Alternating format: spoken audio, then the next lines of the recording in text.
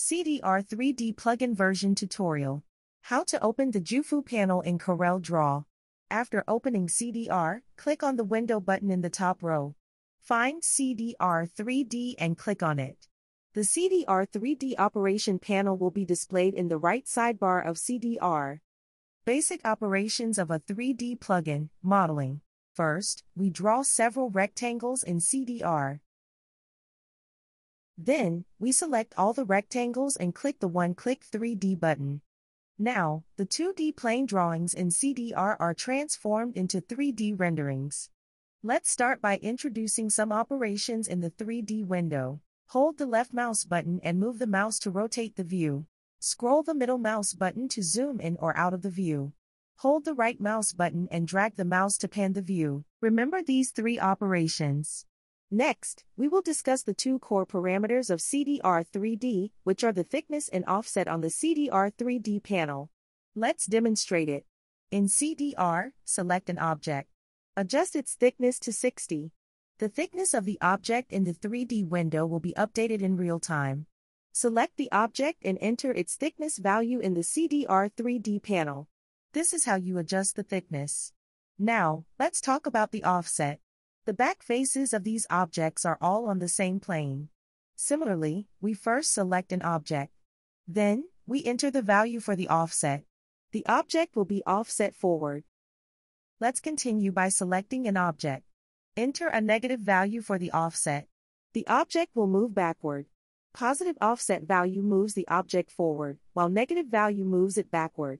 When we change the color of an object in CorelDRAW, the color of the object in the 3D preview window also changes in real time.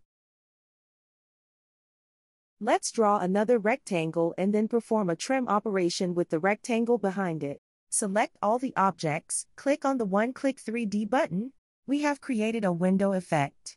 We can also edit the objects individually, select them, and click on the one-click 3D button. The resulting effect will vary depending on the selected area. The 3D effect will be generated for the objects we have selected. Finally, let's add that we can select multiple objects together and modify their thickness and offset simultaneously. Materials and textures. Select an object, then click on the material sphere. The corresponding object in the 3D view will change its material. We can also adjust the size of the material texture here. We can also try clicking on other materials. Let's change the material of this blue object to a different one. Click on the material sphere, select a material with a blue color tint. We just need to change the color of this object to white. Alright, let's talk about how to apply textures. We will start by placing a bitmap image in a CDR file.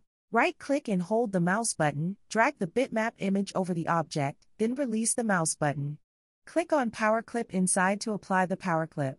Finally, select all the objects by dragging a selection box around them. Click on one click 3D and the texture effect will be applied. When there is a large amount of text, we can also treat these long paragraphs of text as textures.